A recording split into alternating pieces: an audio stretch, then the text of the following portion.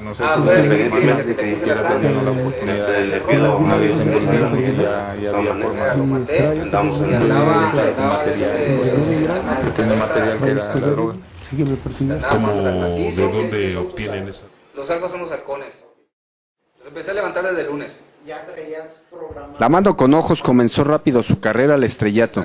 Hace un mes le declaró a interrogadores de la Procuraduría General de Justicia del Estado de México que el nombre de su organización criminal se lo inspiró el popular personaje que Televisa usa en eventos deportivos, el compayito.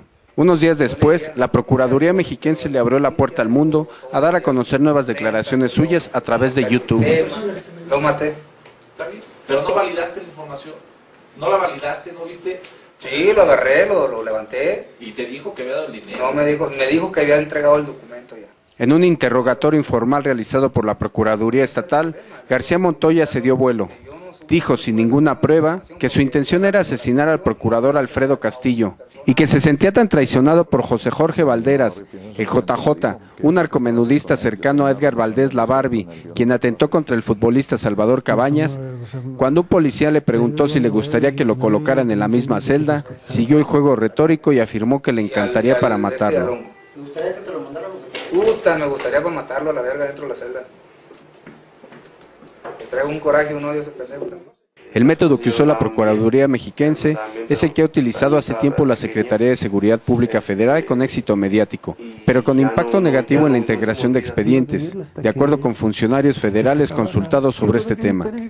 Nadie se detuvo en el fondo, sino en la forma. Otros criminales presentados a las televisoras antes de entregarlo al Ministerio Público Federal para que los entrevistaran, como el JJ o la Barbie, tuvieron un alto impacto mediático positivo para el gobierno. Pero cuando fueron presentados a declarar ante el Ministerio Público, se abstuvieron de hacerlo.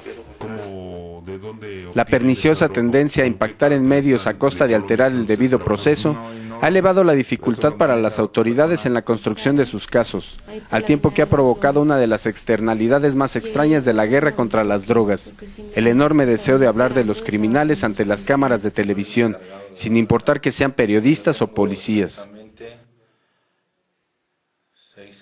Los criminales han encontrado en el vehículo que les han regalado a las autoridades un extraño atractivo para hablar a las audiencias públicas sin comprometerse legalmente. Ante las cámaras de televisión, describen la manera como secuestran, descuartizan o matan. Hablan de sus amores y sus odios. Ofrecen detalles y narran momentos y acciones que luego, ante quienes deben declarar legalmente para que se integren a las averiguaciones previas y generen mayor investigación, callan. El Diego, uno de los jefes del cártel de Juárez y de sus mercenarios pandilleros de la línea, es uno de los ejemplos más claros de la perversión que se vive. Fue entrevistado por las cámaras de televisión policiales tras su arresto a finales de julio, donde habló con una ligereza asombrosa de todo lo que le preguntaban. Para empezar, este, se levantó a un sujeto que pertenecía al cártel de Sinaloa, se le privó de la vida, lo uniformamos con ropa eh, policía municipal, se puso en un cruce y a un costado de él se puso el vehículo con los explosivos.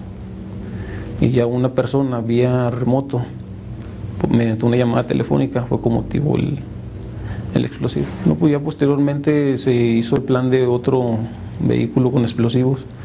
No es que en esa, en esa ocasión este, dejamos el vehículo y también en- retirado del vehículo de los explosivos se puso otra persona también que se le había privado de la vida, que también era el cártel de Sinaloa. Se dejó a unos metros.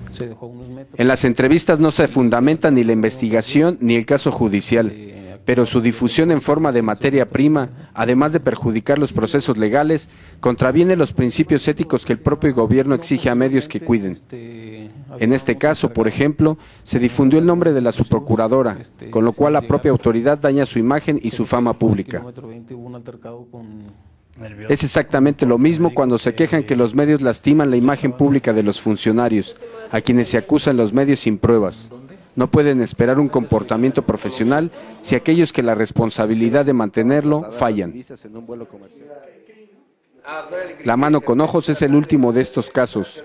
Dijo que el Pelacas y el Ricalde eran los secuestradores del jefe Diego, y los medios acríticamente compraron la versión. Ese par de personajes encabezan lo que en junio identificó la propia Procuraduría mexiquense como el cártel del hongo, que disputaban con la mano con ojos el control por Cuautitlán Izcalli y Tultitlán.